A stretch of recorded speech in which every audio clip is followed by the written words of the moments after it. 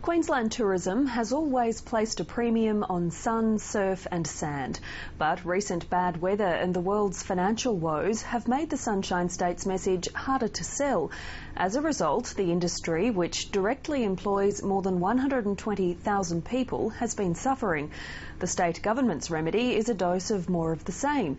This week it unveiled the Queensland Shines advertising campaign. And as Stephanie Smail reports, tourism operators are hopeful the tactic will work once more.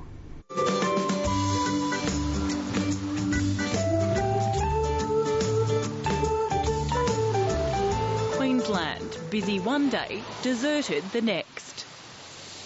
International visitor expenditure in Queensland has declined by 4%.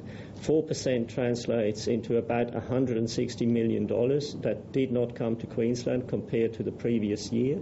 And that is a huge amount of revenue that is missing in someone's till. We had uh, a reduction in air services into the region uh, a couple of years ago, and that was followed by the GFC. And then we had swine flu last year, and uh, now we've got a very strong Australian dollar, which is uh, making things a little bit difficult for us. The tide has been out for the Sunshine State's $9 billion tourism industry for the past 18 months. The tropical north has been hit hard, and many operators in the normally bustling region have been struggling to stay afloat. Obviously, it's cost jobs. Uh, we have uh, the highest uh, unemployment levels in Australia, and uh, uh, and uh, the the region actually benefits from tourism, with around 20% of all jobs being driven by the tourism industry. So obviously, any downturn impacts jobs and real-term income. The Cairns-based Quicksilver Group has been shuttling tourists to and from the Great Barrier Reef for decades. As passenger numbers dropped, it had to make some tough decisions and shed 15% of its workforce. Well, like all operations, we've had a very heavy review of our finances, so it's really managing our costs as best we can. At the same time, we've had to look at our staffing levels, and uh, where appropriate, we've undertaken not to replace staff when other staff have left, and, and that's certainly put a lot of pressure, a lot more pressure back on everybody else. The Sunshine Coast has struggled too. There's some restaurants that have closed down. There's some very high-profile restaurants that have had to close down. Uh, we've had a number of major operators that have had to lay off staff. But that's no different to a, a range of industries, you know, right across, you know, the economy. When the GFC hit, you know, that was a natural, you know, outcome. Uh, and in some ways, it's natural selection. What you know, what we finish up with is a much stronger product. It's now 12 years since Tourism Queensland launched its last brand. The Queensland Government ordered a shake-up of the state's tourism brand about 12 months ago to help kick-start the industry's recovery. And after 12 years of this... From Coolangatta to Cape York, please, stay between the flags.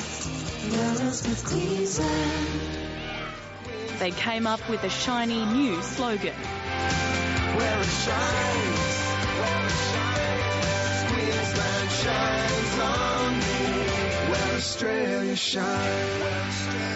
Queensland, where Australia shines, tells the world that if you want a holiday in Australia, the very best place you can come to is Queensland.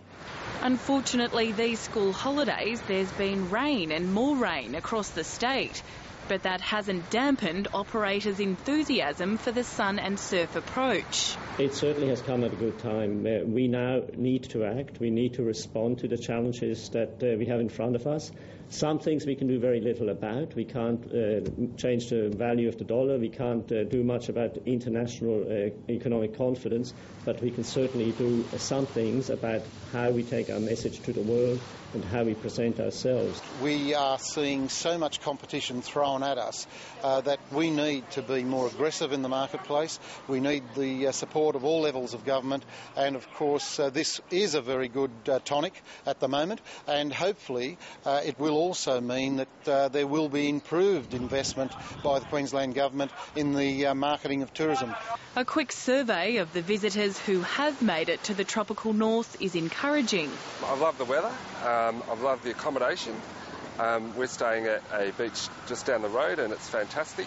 Cairns has got a lot going for it, really. You know, there's so many different things you can see. Oh, it's fantastic, really. Beaches, people, food, everything fantastic. When I come back, I tell everybody, please come to Australia. but operators are under no illusion that it's all clear skies ahead. I'm not going to come out and say we've turned the corner and everything's great because you never know what's going to happen globally that's suddenly going to impact you know, tourism. And I'd like to think now that the markets are, are at a bottom and, and, it's now time for uh, a great opportunity for the markets to return to some growth. It is a tough world out there. Many countries, many destinations have cottoned on to the fact that tourism is a good industry to be in because it works for the community, it works for the economy, and, and it works also uh, uh, for the environment, for instance. So we should take advantage of uh, the advantages that we have in Queensland and we should build on that.